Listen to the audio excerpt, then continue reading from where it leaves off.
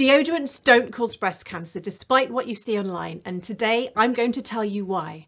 I'll tell you how the rumour started, whether deodorants are safer than antiperspirants, and explain why you don't need to worry about aluminium causing breast cancer. And if you've seen a video telling you to throw your deodorant away, and like many women, you've tossed yours in the bin, I'm going to help you work out who to believe in the future by asking one simple question where's the proof?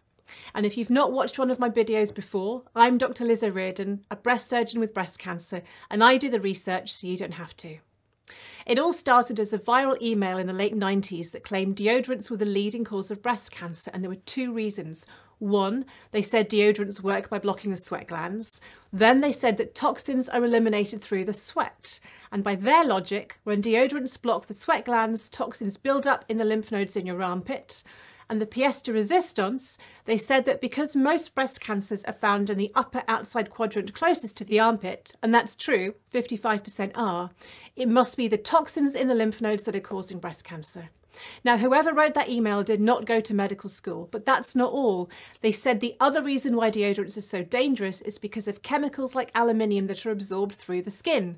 And then they said that aluminium can act like estrogen, and because estrogen causes breast cancer, it doesn't, but let's go with this. The email went on to explain that then shaving your armpits causes tiny nicks in the skin, which means you absorb more of the aluminium, so they don't want us to shave either. But hang on, their proof is this. Men don't shave their armpits and men don't get breast cancer, and that's because the deodorant goes onto the hair, not the skin. I have so many questions, like, a deodorant safe if you don't shave? And is it the shaving that's dangerous, not the deodorant? And are they sure that we don't absorb these chemicals through our hair? But enough about what I think. It all sounds quite convincing, doesn't it? Blocked glands, toxins building up. But Dr. Liz, you ask, I'm told not to use deodorants before I have a mammogram, and I was advised to only use aluminium free deodorants after radiotherapy. Surely it's because they cause cancer. Well, you're right, we do say that, but it's not for the reasons you think, and I'll tell you why at the end of the video. Back to that viral email, let me tell you why it's nonsense. But to do that, I need to start by explaining how deodorants actually work. Everybody sweats when they get too hot, unless you're Prince Andrew apparently. It's your body's way of cooling down when you get too hot. Sweat is a clear, salty liquid and it doesn't smell. But when it mixes with the bacteria on your skin, it can start to smell. Now we use deodorants to mask the smell with a more pleasant scent. We use antiperspirants to stop us sweating for a couple of hours. So how do they work? The key ingredient is aluminium salts. They dissolve in your sweat, creating a thin gel coating that covers your sweat glands and stops them sweating when you get hot. You know, before I researched this, I thought they both did the same thing, but now we know.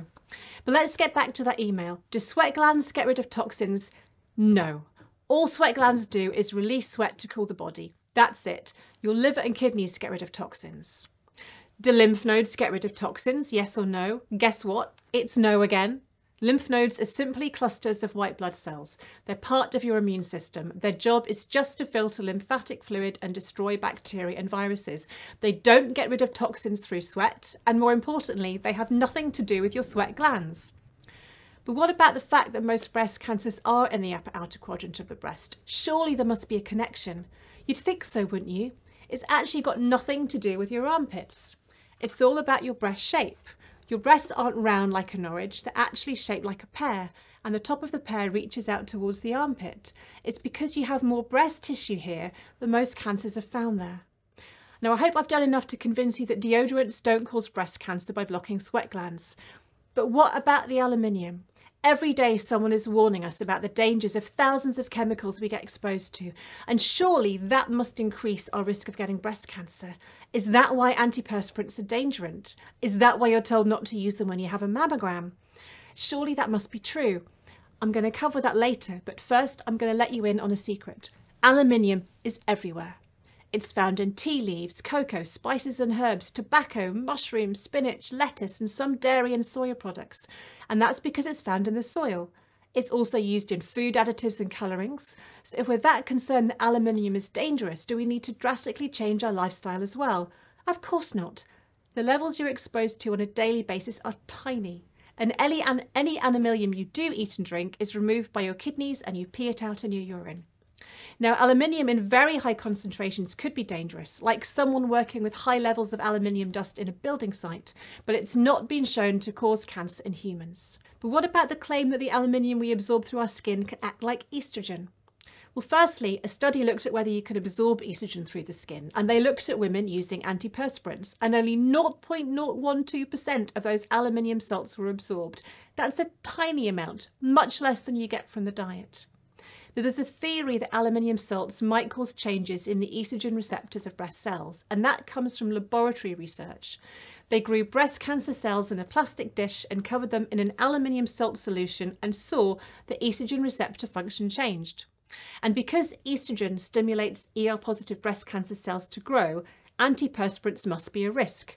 But these were cancer cells in a dish, given high concentration of aluminium directly into the solution that keeps them alive. And that's very different from a normal woman using aluminium antiperspirants who absorbs a tiny amount from the diet. It's just not evidence, it's not proof. And the one study that actually looked at the amount of aluminium in breast tissue found that breast cancers had the same amount as normal breast tissue. So everything in that email was false. Deodorants and antiperspirants are safe. So if that's the case, why don't you wear deodorants before a mammogram? And that's because the residue from deodorants and the aluminium salts and antiperspirants can show up on a mammogram as tiny white specks. And because breast cancer looks like tiny white specks on a mammogram, we don't want the person reading it to be confused. That's it. But what about when you have radiotherapy? I was told not to use an antiperspirant that had aluminium salts, and I wanted to know why. And again, it's not because they're dangerous. You can actually use any deodorant you like while you're having radiotherapy, but some women can get burning, blisters and painful irritated skin due to the radiotherapy changes. And that's when a traditional antiperspirant might make the pain and irritation worse. I had quite bad skin burning and I used a Mitchum deodorant, but I went back to my normal one once everything had settled down because it worked better for me. So, in a nutshell, Deodorants and antiperspirants do not cause breast cancer and they are completely safe to use. In fact, in 2020, the European Scientific Committee on, Con on Consumer Safety looked at all the evidence. They published a report that confirmed that aluminium is safe in all cosmetic products and stated it does not cause breast cancer. If you'd rather use a natural one, go for it. But do it because you want to, not because of a video on TikTok. If you've got any other myths you want me to debunk, let me know in the comments. And remember to subscribe so you don't miss my next video. I'm Dr. Liz O'Riordan, and thanks for watching.